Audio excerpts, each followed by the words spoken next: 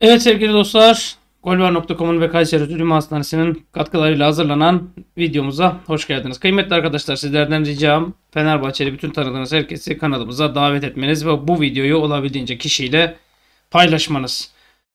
Başlığa koyacağım şey aslına bakarsanız videonun genelinde konuşacağım şey ve e, öyle ben lafını çekinen esirgeyen bir adam değilim.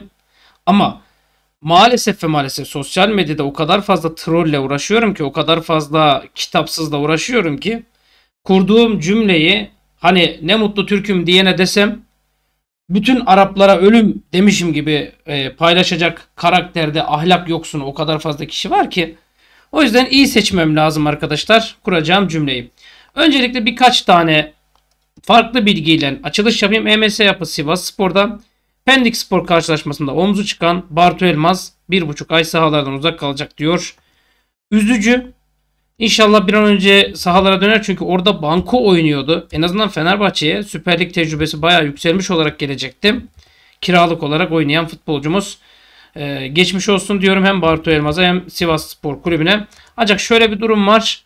Ee, Mart'ın ortasında milli araya gelecek. Yani Mart'ın ortasında bir iki haftalık bir ara var. Onu sayarsak aşağı yukarıda zaten Mart'ın ortasına da hemen hemen yani iki hafta üç hafta kaldığını düşünürsek yani yaklaşık 5 e, haftalık süreçte 3-4 maç kaçırmış olacak. Geri kalan maçlarda en azından oynayabilir.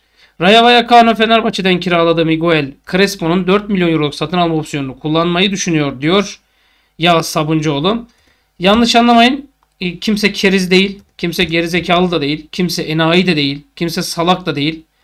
Bulduğu hazineyi herkes değerlendirir. Miguel Crespo. Ya Fenerbahçe taraftarında şöyle bir şey var. Ahmet bir şey söylesin arkasına takılayım. Ama hemen onun cümleleriyle artistik yapayım. Mehmet bir şey söylesin artistik yapayım. Crespo'yu el birliğiyle yediniz. Yeteneksiz çöp şu bu ilan ettiniz. Ben bas bas bağırdım. Sezonun başında yalvardım. Dedim ki Zayistan topçu mopçu olmaz. Allah rızası için bak kimseyle anlaşamayıp Fenerbahçe ile anlaşıyor. Ya bu tip futbolcuları almayın.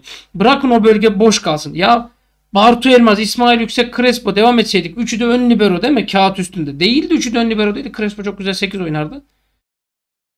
Maalesef o treni kaçırdık. Şimdi bir de Kurunic belası. Kurunic kendine gelene kadar inşallah Fenerbahçe şampiyonluktan olmaz diye dualar ediyoruz.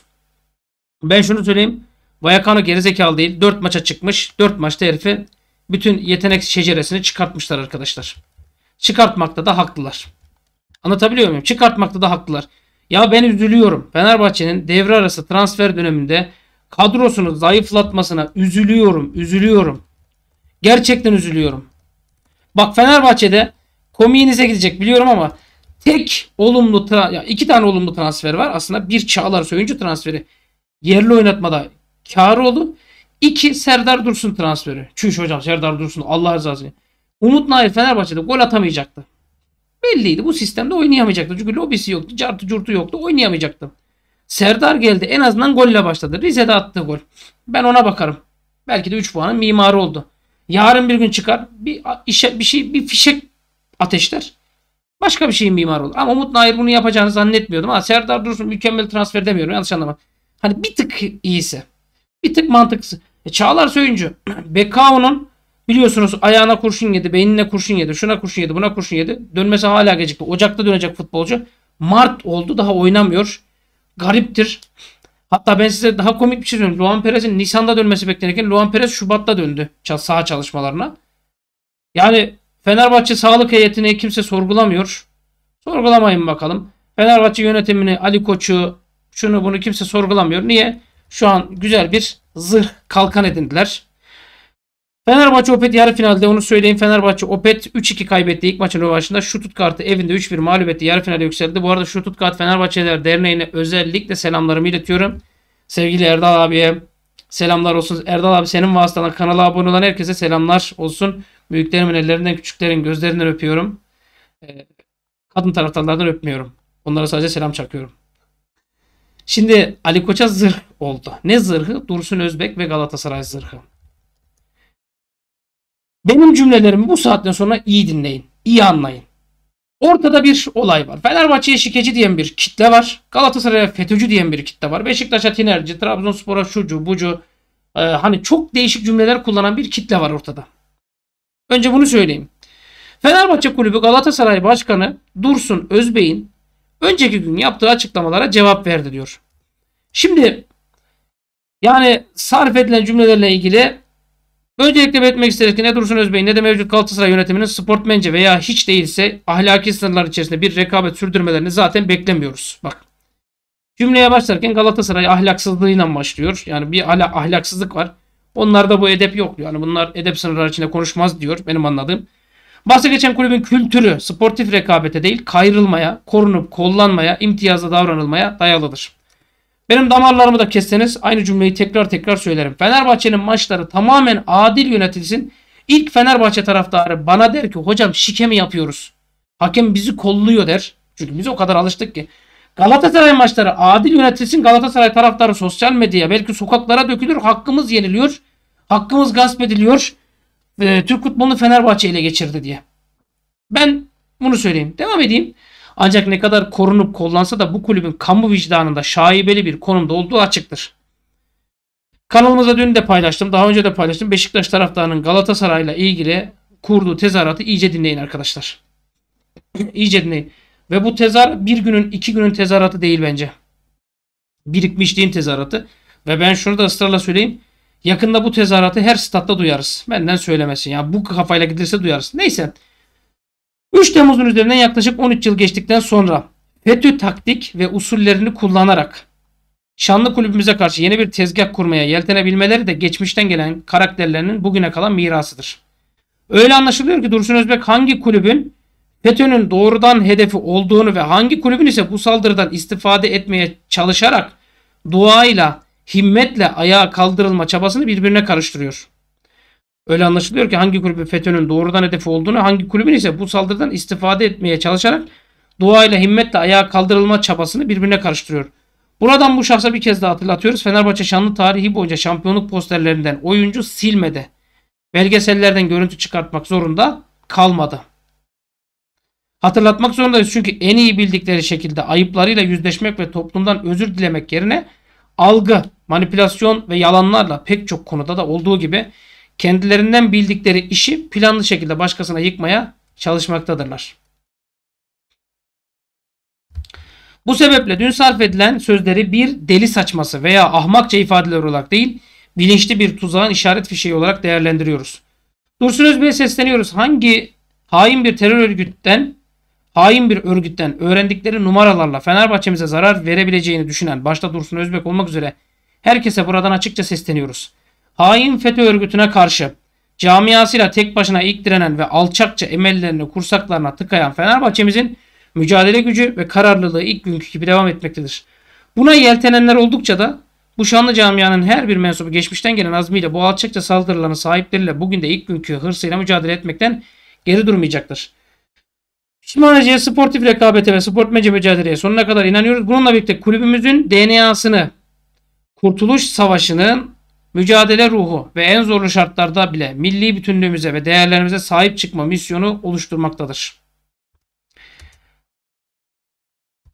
DNA'mızdan gelen bu kuvvetli gücümüzde hain emeller taşıyanları yaptıklarına pişman etmek konusunda kararlıyız. Camiamıza ve kamuoyuna saygıyla duyurulur. Hocam az önce bir kalkandan bahsediyordun. Nedir o kalkan? Fenerbahçe yönetiminin önünde bir kalkan var. FETÖ kalkanı. Aslında bu kalkan birçok kişi de var. Bir şey oluyor FETÖ'cüler yapmıştır. Bir şey oluyor FETÖ. Bir şey oluyor işte atıyorum kafadan e, hakem maçı katlediyor FETÖ geçmiş araştırılsın. Bu bana da yapıldı. Hepinize de yapıldı. Arkadaşlar adınız soyadınız kadar emin olun. Bak adınız soyadınız kadar emin olun. Hepiniz hakkında FETÖ suçlaması vardır. Hepiniz hakkında.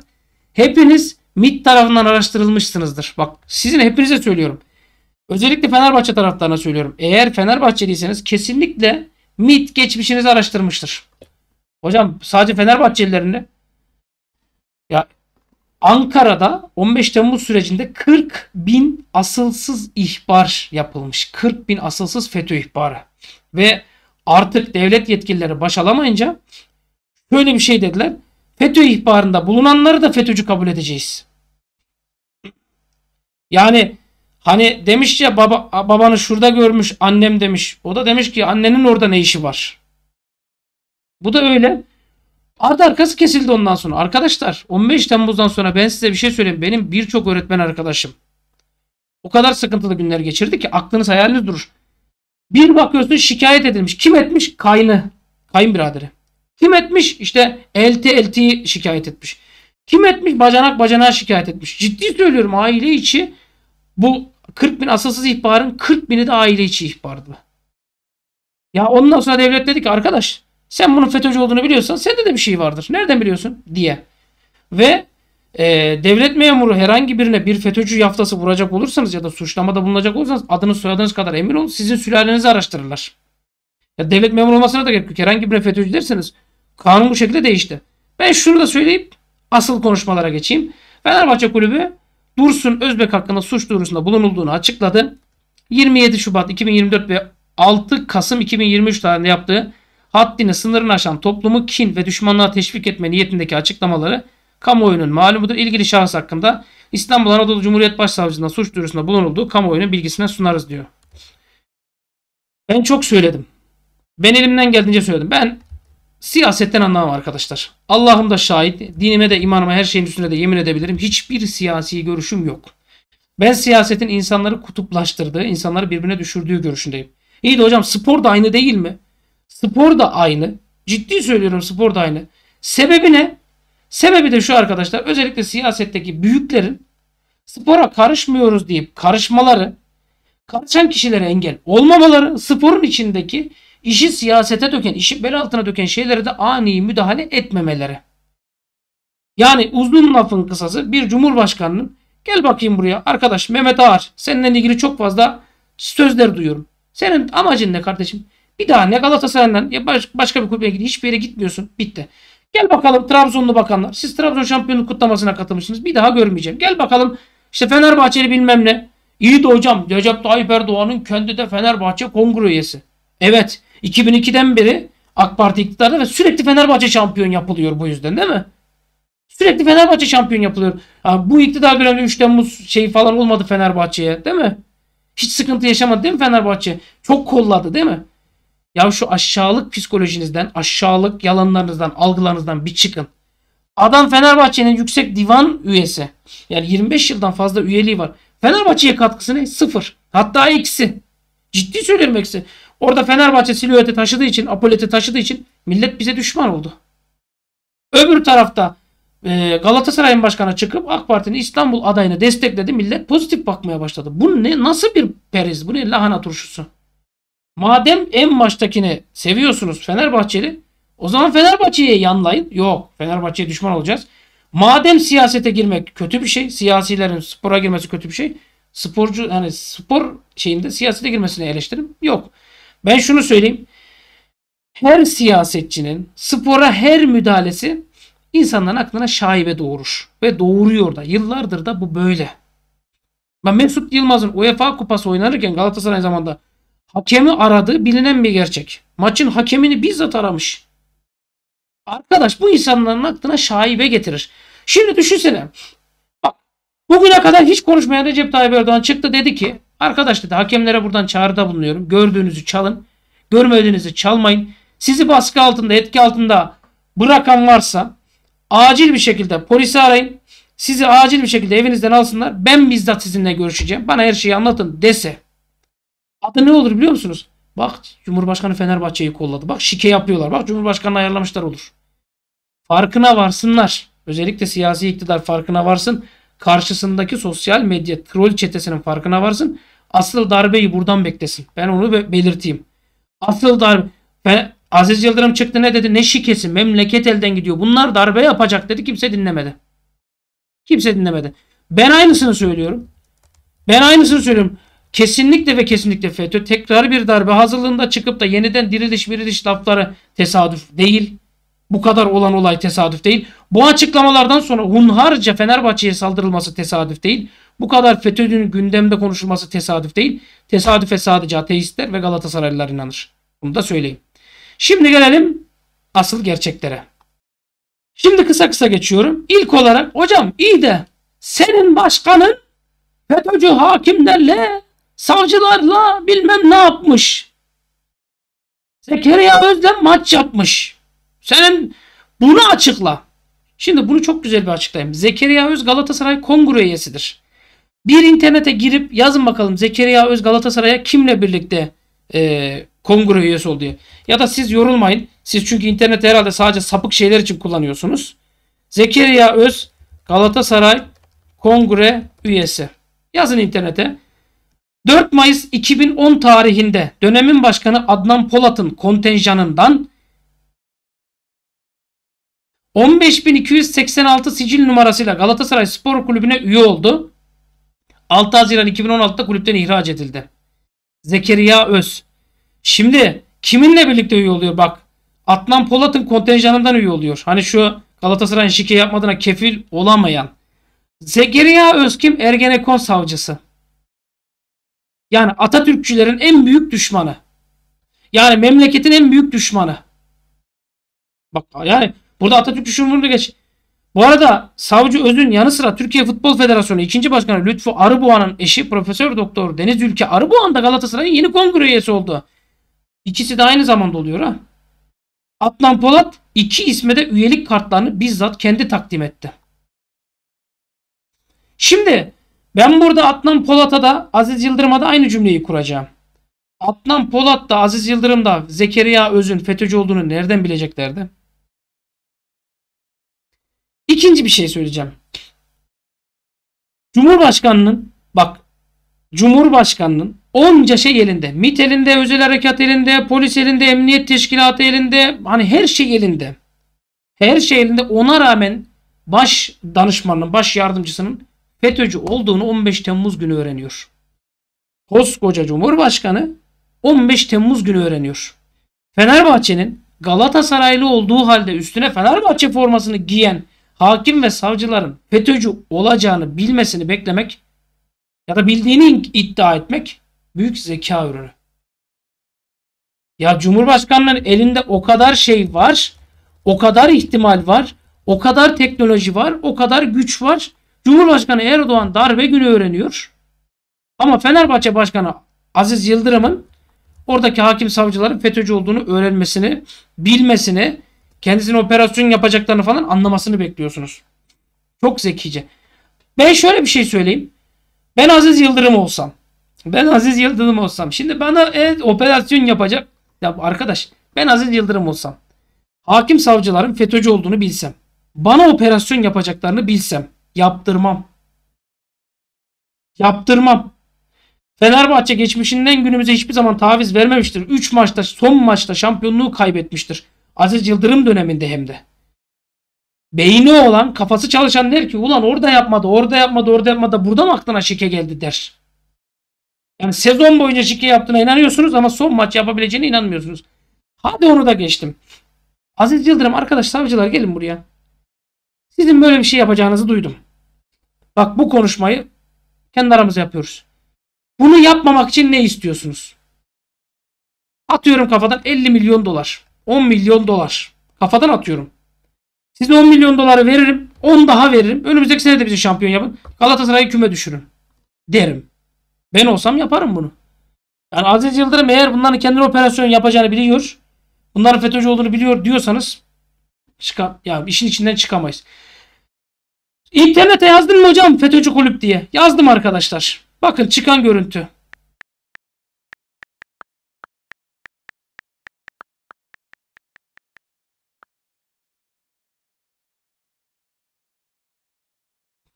Ya FETÖ'cü futbol takımı yazdığınız zaman ortaya çıkan görüntü arkadaşlar.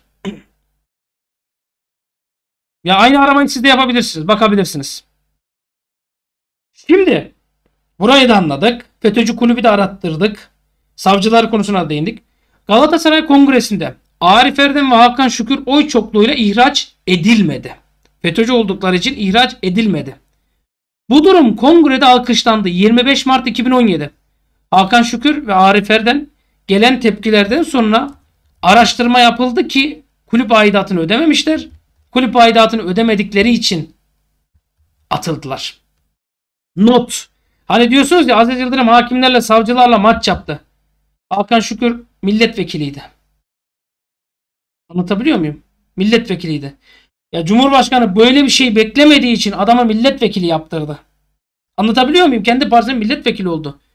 Yani böyle bir şey bekliyordu diyorsan Aziz Yıldırım'a hiç konuşmayın o zaman. Yani gidin devletin büyüğüne konuşun. Devletin başına konuşun. Deyin ki arkadaş böyle böyle oldu. Aziz Yıldırım gitti maç yaptı. Sen de vekil yaptın. Sıkıntı diyebiliyorsanız buyurun deyin. Darbeden birkaç hafta sonra Arif Erdem golü paylaşıldı Galatasaray resmi hesabından. Amaç neydi? Eski Galatasaray Başkanı mekanı cennet olsun Duygun Yarsuvat diyor ki ben bir hukukçuyum. 3 Temmuz net bir kumpastır diyor. Fenerbahçe'ye yapılan net bir kumpastır. Evet Fenerbahçe benim rakibim. Ben çok koyu bir Galatasaraylıyım diyor. Ama 3 Temmuz Fenerbahçe'ye yapılan bir kumpastır diyor. Cumhuriyete yapılan bir kumpastır. Cumhuriyetçi, Atatürkçü bütün Galatasaray taraftarının karşı çıkması gereken bir olaydır bu olay diyor. Ama gel gör ki Süper Kupa finalinden çekilen Galatasaray sanki hiç çekilmemiş gibi o yüzsüzlüğü yapıp Ali Koç çekildi diyebilmiştir. Uzun lafın kısası dostlar. Eğer FETÖ'cü kulüp arıyorsanız Zafer bir yıl Fenerbahçe'de oynadı. Ulan adam tarihinde 20 yıl futbol oynamış. Sadece 6 ay Fenerbahçe'de oynamış. Fenerbahçe'yi FETÖ'cü yapıyorsa Galatasaray moleküllerine kadar FETÖ'cüdür. Eğer Zafer bir yolu kıstas alıyorsanız. Bekir İrtegün. Bekir İrtegün'ü Fenerbahçe'ye aldıran Emre Belezoğlu'dur. Bekir İrtegün Emre Belezoğlu aşığıdır. Bizzat Emre Belezoğlu aldırmıştır Fenerbahçe'ye. O zaman çıkın Emre Belezoğlu'nu araştırın. Yani eğer ahlakınız varsa. Aynı Bekir İrtegün yurt dışına kaçtıysa Amerika'da ikamet ediyorsa FETÖ'cüdür. Yok Tuzla Spor'un teknik direktörü ise yani Tuzla Spor olabilir niye olmasın? Yaz, yazayım internete Tuzla Spor teknik direktörü. Eğer hani kafadan atıyorum Tuzla Spor'un teknik direktörü kim bilmiyorum. Hani eğer Tuzla Spor'un teknik direktörü ise Bekir İrtegün o zaman demek ki sıkıntı yok. Demek ki yurt dışına kaçmamış. Demek istediğimi anlatabiliyorum inşallah. Aa hakikaten Bekir İrtegün'müş. Sürpriz oldu bana da. E hani bu adam FETÖ'cüydü. Hani cezaevindeydi. Kaçaktı. Teröristti. Benim bildiğim teröristler FETÖ'cüler ya Pensilvanya'da Rocky heykelinin açıldığı yer, dünyada Rocky heykelinin olduğu tek yerde ya da cezaevinde. Yine aynı şekilde. Başka kim vardı ya? Fenerbahçe TV'nin şeycisi, e, yorumcusu FETÖ'cü çıkmış. Çıkamaz mı? Galatasaray TV'nin yorumcusu çıkıp demedi mi bana dedi bir kadın olarak dedi yapılan bütün ahlaksızlıklar yapıldı diye. O zaman Galatasaray bütün cami ahlaksız mı? Galatasaray stadı açıldığında tuvaletlerde cinsel ilişkiye girilmedi mi? O zaman bütün Galatasaray taraftarına böyle mi hitap edelim? Ya da şunu söyleyeyim. Her Fenerbahçeli hani aynı değerlere mi sahiptir? Mesela bir atıyorum kafadan bir aslan burcuyla bir yengeç burcu aynı mıdır? Bir kova burcu aynı mıdır? Bir akrep burcu aynı mıdır? Ben bunu şu örnek için açıklıyorum. Beş parmağın beşi bir değil. Senin tarihinde Hakan Şükür, Arif Erdem, bilmem Uğur Tütüneker falan filan olabilir. FETÖ'cü futbolcu olabilir. Bu senin suçun değil. Bu se belki Fatih Terim de yarın bir gün çıkacak diyecek arkadaş ben de zamanında sohbetlerini dinledim. Gerçi Fethullah Gülen belgeselinde Fatih Terim'in kısmı da var. Neyse ben oraya fazla girmeyeyim. Ben şunu demek istiyorum. Fethullah Gülen çıkıp açık açık Galatasaray'ı dualarla, himmetlerle şampiyon yapmak zorundayız diyorsa Fenerbahçe kapalı kutu bir türlü giremiyoruz çok sertler katılar diyorsa sen Fenerbahçe'ye FETÖ'cü diyorsan bu şu demek. Hırsız benim benden hariç herkes hırsız demek. Sen böyle milleti suçluyorsun demek. Ben şunu söyleyeyim. Ben bıktım. Ben gerçekten bıktım. Bir tarafı sıkışınca Dursun Özbey'in onu suçla, bunu suçla, bunu suçla. Ali Koç'un bir tarafı sıkışınca o FETÖ'cü, Atatürk de Atatürk, stadın adını Atatürk yapacağım. Öbürünün bir tarafı sıkışınca başka bir şey. Kardeşim Fenerbahçe şikeci falan değil. Fenerbahçe'ye şikeci diyen varsa hayatı şikeden geçmiştir. Hayatı şikeden ibarettir. Her yaptığı şikedir. Savcılık demiş ki arkadaş bu soruşturmayı yapanlar FETÖ'cü. Bunu yapanlar FETÖ'cü. İyi de yanlış dinlemelerden dolayı deliller karartılmış o yüzden kabul edilmemiş. Ulan yanlış dinleme diyorsan, usulsüz dinleme diyorsan ben şunu söyleyeceğim. Bak şunu söyleyeceğim. Tapeleri soruyorlar. Aziz Yıldırım'a bu tarlalar sürüldü mü ifadesini sormuyorlar. Ben Fenerbahçe olarak en çok ona kullandıydım mesela. Ulan dedim tarlalar sürüldü mü? Bu nasıl bir ibare? Hani şike yapıldı mı? Maç ayarlandı mı? Demek gibi bir şey. Bu ibare yer almadı. İlginç değil mi sizce? Mecnun ot yakmaz. Diyor ki bize diyor Trabzon'dan diyor bilmem kasa kasa şey gönderildi.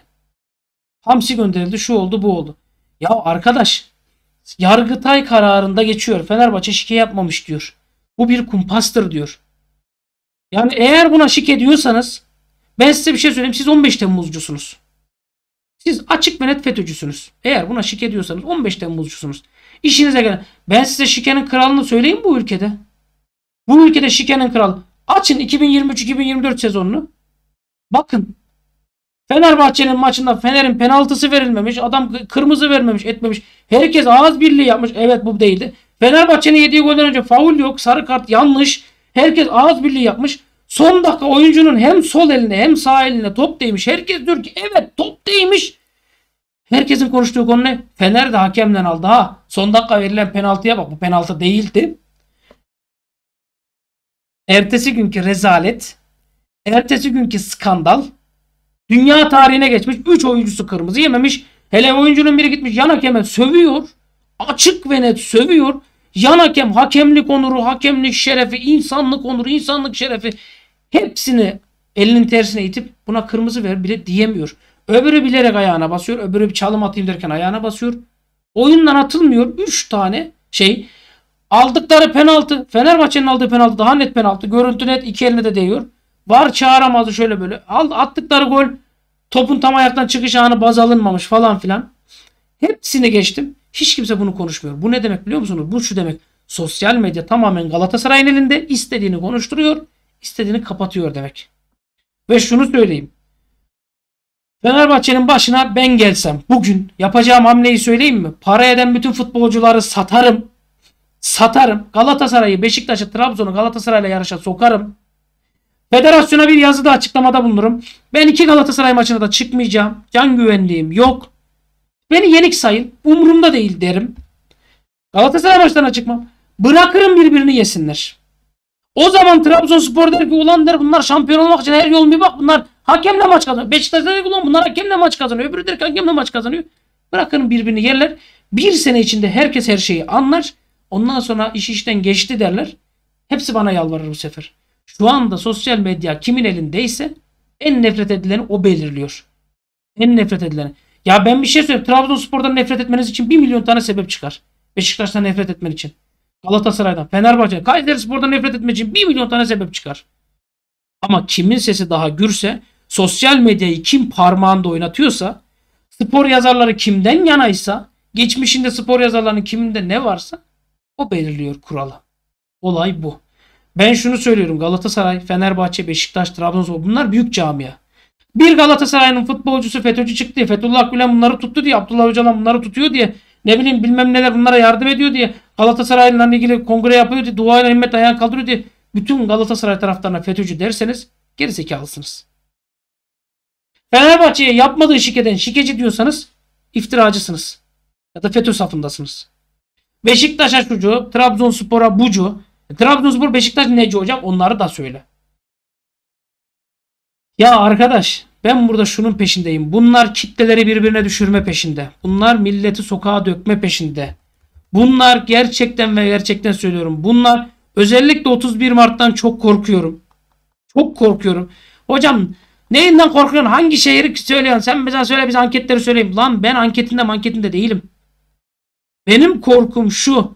Arkadaş ben doğuda görev yaptım. Kürtçe öğrendim. Konuşmalara şahit oldum. Konuşmanın içinde şöyle bir şey geçiyordu. Yeri ve şeyi söylemeyeyim. Diyor ki eğer bizim aday kaybetsin şu kadar keleş getirdik şurada diyor. Bir kamyon dolusu keleş var diyor. Bir kamyon dolusu keleş. Yani silah, tüfek. Ve çatır çatır şey yapacağız. Sonra ben yaptım. Hani hocam sen hani niye öksürdün dedi. Bunu her yerde konuşmayın dedim. Neyi konuşmayalım dedi. Ben dedim ki silahtan bahsediyorsunuz. Keleşten bahsediyorsunuz. Aman hocam sus kurban olayım falan yaptı. Ya ben bu onu gördükten sonra o gün bugündür ben hiçbir seçimde oy şey yapmıyorum. Görev almıyorum. Bir de bir olay daha yaşadım. Ondan dolayı ben seçimde de görev almıyorum. İnşallah bana vermezlerdi. Ben size söylüyorum dikkat edin. Seçilme seçilmeme meselesi değil. Ortalığı karıştırmaya müsaitler. Ben Fenerbahçe taraftarını kardeşim olarak görüyorum.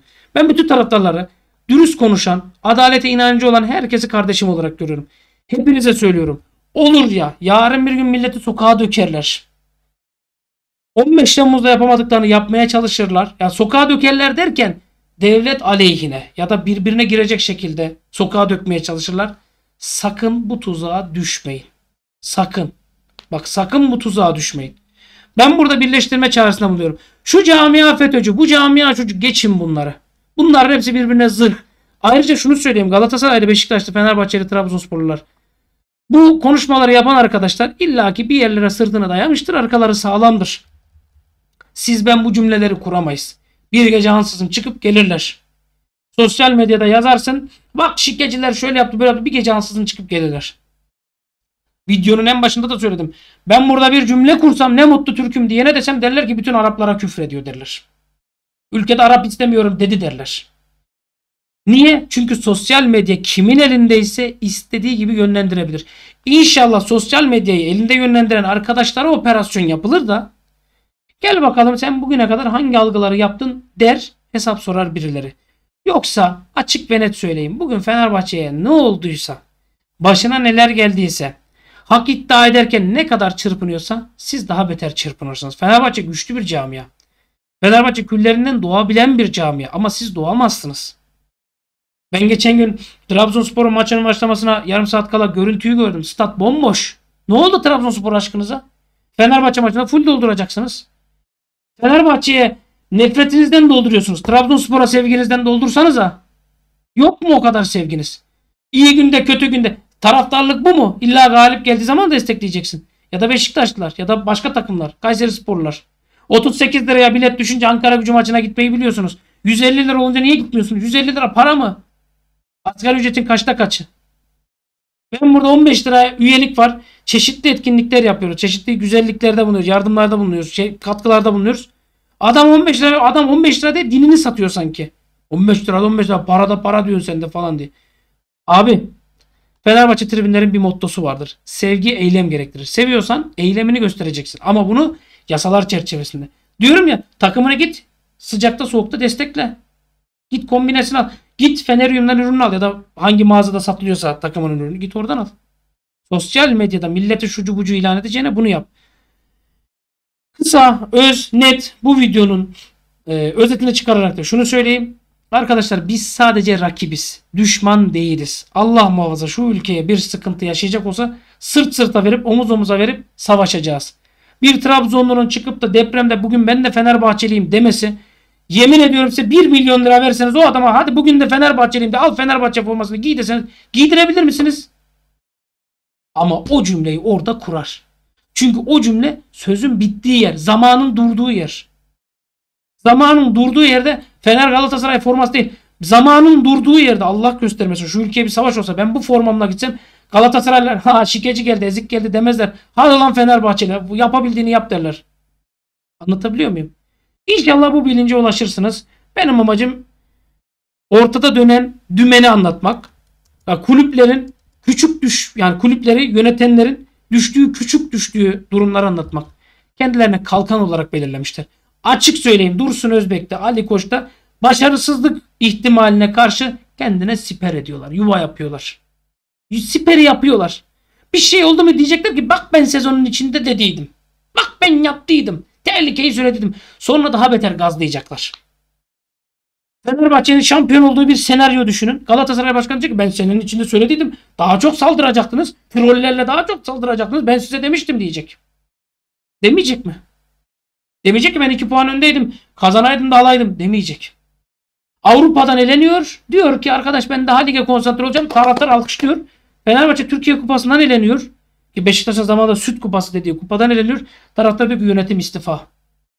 Anladınız mı? Sosyal medyayı Fenerbahçe yönetiyor olsaydı aynı tepki Fenerbahçe verdi. Ama ne olacak ya Beşiktaş derbisine çıkacaksın. Finalde Galatasaray derbisine çıkacaksın. Yorulacaksın. Boş ver derbinin stresi sıkıntılı.